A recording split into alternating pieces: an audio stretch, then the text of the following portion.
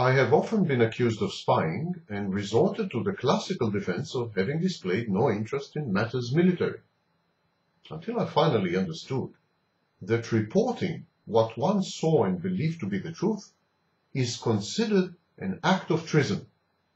Informing the world about the true state of affairs was a deplorable act of surrendering official secrets.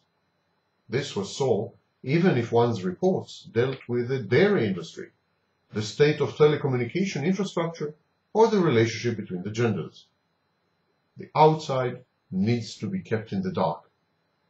Certain societies engage in gigantic informal conspiracies against outsiders.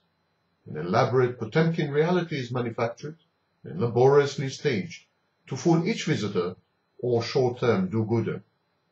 Foreigners who stay longer are expected to conform and assume this bond of silence.